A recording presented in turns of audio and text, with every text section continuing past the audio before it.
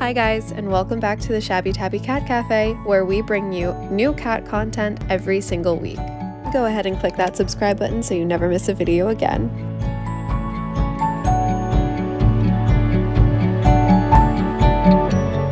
Hi guys! Hi, guys. Um, we're here to make a video um, that is requested often.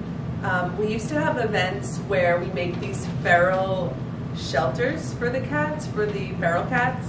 Um, we haven't had the event this year yet. We might still, but in case we don't, we want to show a step-by-step -step on how you can make it at home. It's really, really easy. This is a lifesaver for the cats that are outdoors all winter long.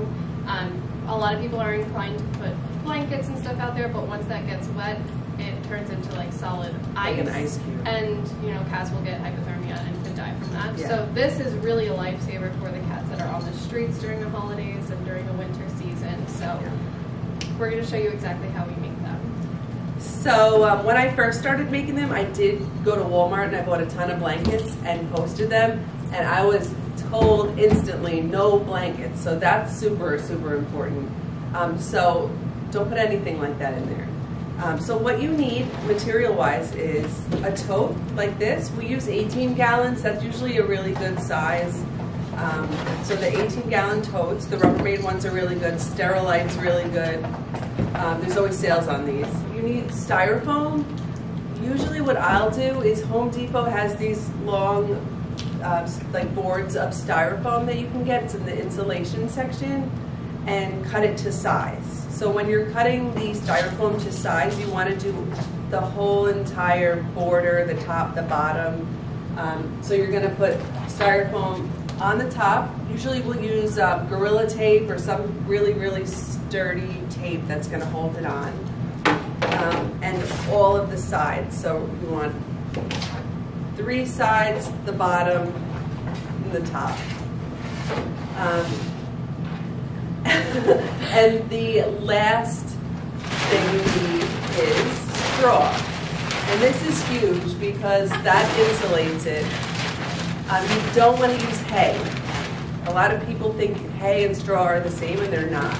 So you need to use straw because that will insulate it so the cats can stay warm. And where you get this from? Um, you can get that, I'm not really sure. I got it at Shirley Feed, that's by us. Um, that's like a pet supply store. Any barn supply stores, um, a lot of pet stores will have it. But don't get hay because it soaks up the water and it'll just be ruined as soon as the first snowfall or rain. All right, so here's what we're gonna do. Um, I was able to get a, a styrofoam cooler, which is really helpful. If you can get a styrofoam cooler to fit in your bin, that's even easier than cutting all the pieces apart.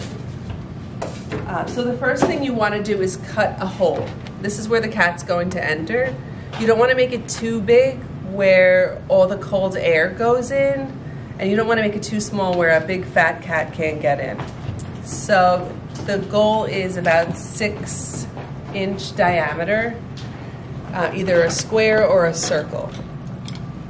So we, we use The easiest way to do it is with a razor blade and then just do a nice good sized hole that's going to be you know able to fit any cat but you don't want it to be like too big because then all the cold air is Yeah. going to get in so you know just kind of gauge however you think most cats will fit through something like that So you cut that first, and then you're going to cut your styrofoam. This happens to be a cooler. We already cut the hole. Um, that can be done with one of these also. It's really easy to cut styrofoam. And we just put it right in here where the holes match up. And you can see the sides are insulated, the front, and then we have a piece for the back. And just stuff it. I enjoy the cats fighting in the back. it's just the best. This will be the part for the top. Make sure you tape it on really, really well, or else it'll fall in and be a bottom. So tape it up very well.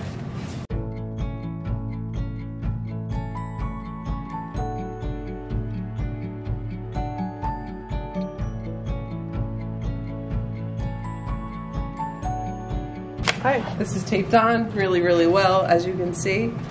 When you put this in, just put a ton in. It's going to pack down, so push it down. You know, make sure it's enough so a cat can get in it and burrow their little bodies and be covered, but not so much where they can't get in.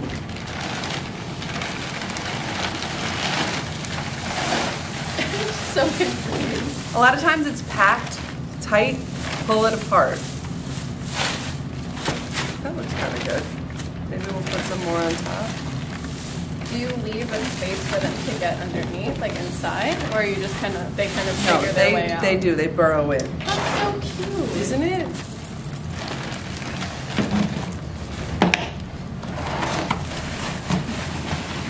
So move it around, make sure a cat can get in. This one, someone definitely can. And then you want to tape the top down just for extra reinforcement.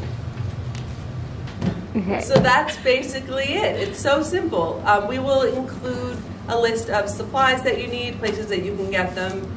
Um, you know, the key things are straw instead of hay. Make sure you insulate all the sides and make sure you have enough space for a cat to be in there and be cozy and warm.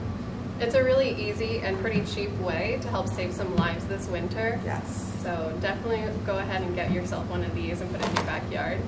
And if you find that your cats aren't using them, or even even if you want to do this beforehand, sprinkle some catnip in there or some sardines or you know something to attract them so once they see it and realize what it is, they'll continue to use it. All right, thanks guys.